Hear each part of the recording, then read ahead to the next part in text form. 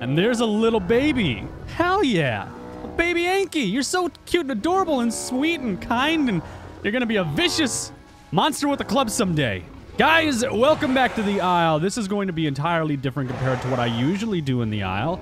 I'm gonna give you a little bit of a cinematic experience, okay? It's not gonna be anything too terrifying, like, oh my god, there's a monster coming down the river. No, it's not gonna be anything like that. This is going to be a more kind, loving episode where we watch me and some people raise a baby. But on top of that, I have some really cool stuff I wanted to show you. And I actually got a piece of fan art that I really appreciated. And it's like next level. I wanted to show you guys this. So if you do enjoy these, I guess, not even documentary styled videos, but like cinematic styled videos, let me know in the comment section down below for sure. Or leave a like on the video. I'm super interested to hear some feedback from you guys on this. And well, let's uh, let's get it. Oh wait, no, I have news for you. Uh, I have a personal project I'm working on. I have a professional voice actor. Like this guy can do stuff for like Discovery Channel, for instance. Um, I'm in contact with someone for that right now because I do want to actually direct my own little documentary within the Isle of like the life cycle of a creature. And this would be voiced by this guy, obviously. It wouldn't be me with commentary and stuff, but it's it would be really cool. There's gonna be like effects and and different stuff like that. I'm to use all of my editing knowledge over the last like 1600 videos I've made to really make something that you guys might enjoy. It's just something I really want to do. I think you guys would enjoy it. So let me know what you want the life cycle to be on, what creature you want to see, and now we can get into the cool stuff. So I want to touch base with you guys on the Isle as a whole and dinosaur riding, dinosaur, dinosaur riding, and some of the cool stuff that they had planned for the game. To my knowledge, dinosaur riding and taming is still a planned feature, but I'm not exactly sure when it's going to be a feature within the game. But we do have some cool concept art and some different things that we can look forward to when it comes to the game and all that cool stuff.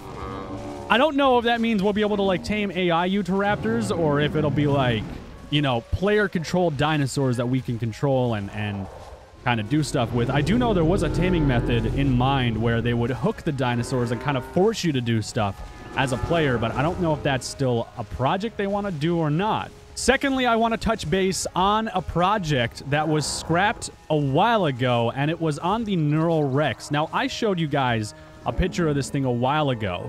The Neuro Rex itself was more or less almost done in my mind. The modeling was there, and everything was kind of ready to go.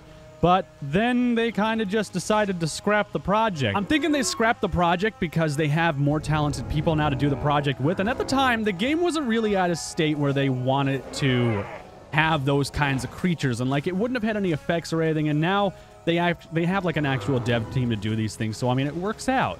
I want to know what you guys think in the comment section down below about the Neuro Rex and anything you think this, this thing should do. I know there were a lot of people saying the EMP that the Spino gets should be unique to that creature alone. So, I don't know. I don't know what the Neuro Rex would do then. I just know that it's probably going to be some kind of telepathy and some other stuff if it does decide to, well, if Dondi does decide to give it some really cool features. Now, one thing I do want to let you guys know as well is that incredibly enough, the Notabranto, the Puerta, is not going to be around soon. It's 99% gone, basically. They, they want to bring a Bracky in instead of the... Wait, what? They have a Chimera too, though. Why would they want to bring in the Bracky? All right, whatever. I'm not even going to question it. It's... it's. They have a reason, I'm sure. But yeah, you guys that like playing as the Notabranto, you're about to have a really bad time because it's not going to be around for much longer once they have the Bracky prepared to go. I want to share this with you guys because I thought this was really cool and it was sent to me on Discord a while ago and I I haven't actually had the time to slot it into any videos, but now I really want to show you guys. Someone actually made a 3D model of the Neuro Spino. And I thought it was really well done. I like the color pattern that they chose with black and white, and I love how they actually decided to make the model as a, as a whole, more or less. Like, I thought it was really cool, and it's a really nice project that they worked on, so I just wanted to give some credit where credit is due, and I'm going to actually list the name right here of the person that decided to make this. It's super cool, so thank you so much. I really appreciate it.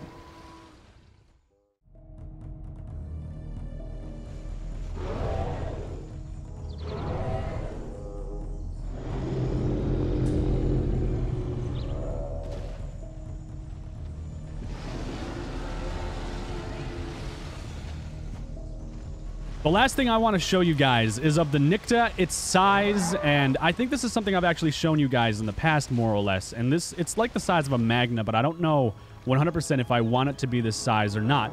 The thing about it, too, is that this thing only needs its sounds, and then it's good to go within the game. The, the Nycta is done. It just needs its sounds, and I'm actually speaking to someone from the Subnautica dev team about getting some sounds created. I don't know how much it's going to cost, and I'm not even sure the direction of what I want this thing to sound like, but either it's it's going to be cool, and you guys wanted an update. I've, I've been seeing comments about it. So there's your little update on the Nycta and the size of it.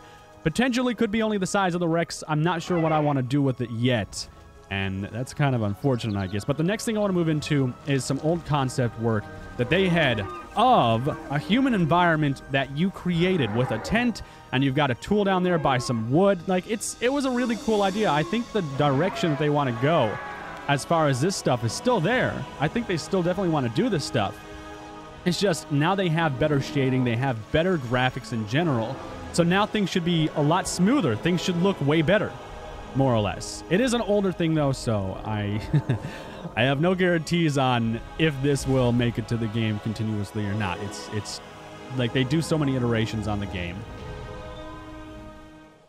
What are you guys up to? You guys doing something you shouldn't be doing? We got a Packy Posse.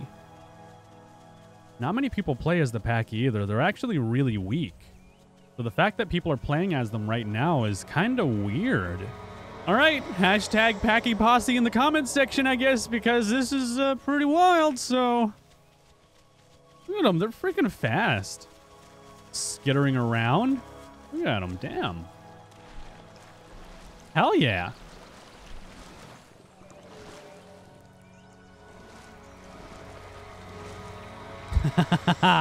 God, that's actually kind of cool. I like it. Oh, hey, little guy, what are you doing? Is it one male and all females? My God, you're a stud. Hell yeah, dude. You are such a stud. look at you go. You got all your all your females with you. Oh, look at you. I think that's the male. Maybe that's a female. Who knows? Oh, God. Calm down, little guy. I love it. That's so cool.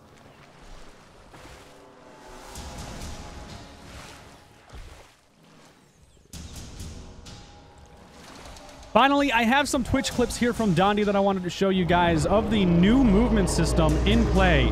I also have some news about the health system as well, and, well, that's basically all of the new stuff. Then we watch these guys kind of do their own thing. I'll probably switch off to an actual different thing, though. Yankee is tiny as hell, but you're adorable, so it's okay. But no, this is more or less on the Rex and like all of the other creatures that are getting this movement update where they can move in angular motions and you're not basically flat no matter what surface you go through. You kind of like step over things. And in this, actually, the Rex looks like it tries to step over some stuff. I thought it was kind of cool. So you guys are going to take a look at that right now.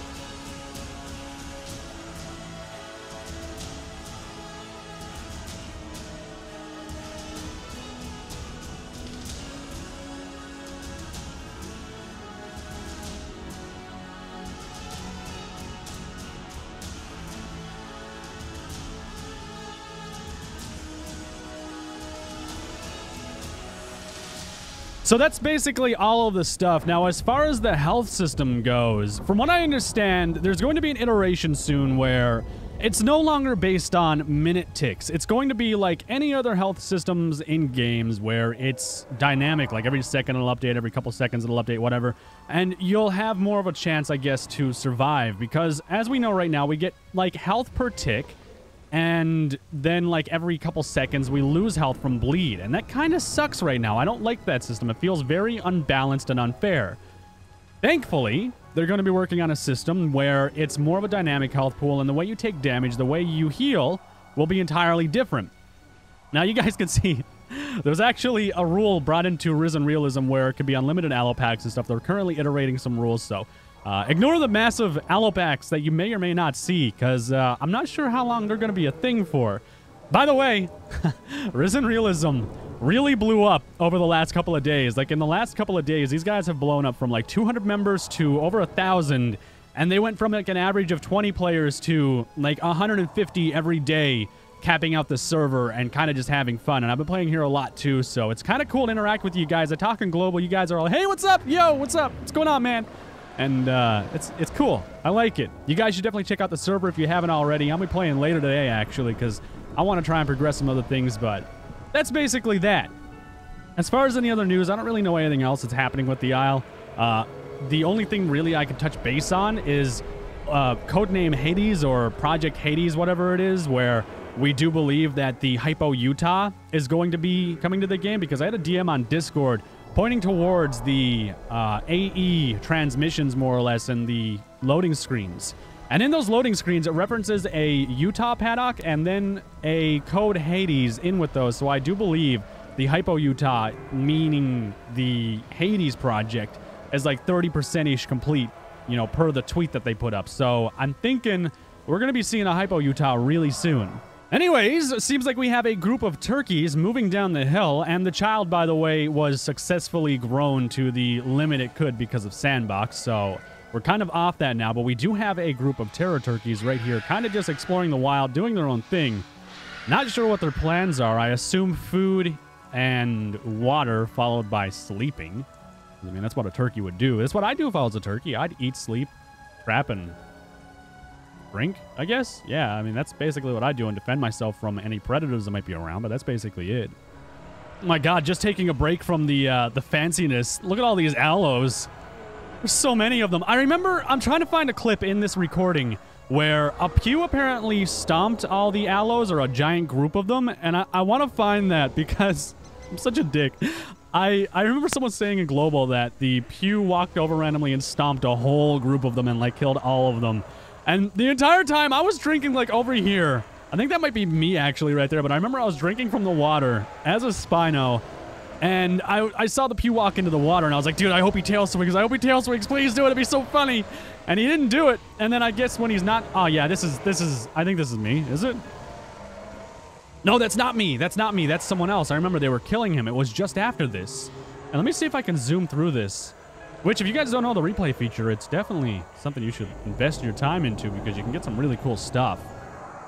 Uh... Is it right here? Is it right here? No, it's not right here. I think he's just building his trust with them. Look at me. I'm not going to hurt you. I'm a gentle giant. I'm not going to do anything to you. I think this might be... This might be where it happens. Somewhere similar around here. Let me see. I'm just I'm just curious because I don't I hope it's in this recording. Uh, It looks like it might be. And I'm trying to find it. Is it right here? Crap, I guess it wasn't, but I do remember this happening. The Spino apparently attacked a bunch of aloes. And it was just a bad time because it was a ti- it was a giant territory scuffle. Oh yeah, they're going into it. See, having that many creatures in one pack is really dangerous because crossfire happens so much and it's just a bad time. Aloes, in general, shouldn't be trying to take on a Spino anyways, I feel like. And I'm sorry this is so dark, but I don't have night vision while I'm in this mode. Yeah, I remember this specifically because he killed a lot of those aloes. And the aloes really didn't do much to him. Damn, look at that. They're all freaking swarming in like mosquitoes. It's like uh, it's like bees when one stings and the pheromone goes out and then they all decide to attack the one person that's stung. There we go. It's getting brighter now. That's good. Oh, yeah. One of the aloes got bit. Damn, another one died? Spino is tanky as hell. And he's not even a big Spino. Like, this is a, a baby adult Spino, basically. Like, they're still growing. And this guy just doesn't even care. He just wants to eat.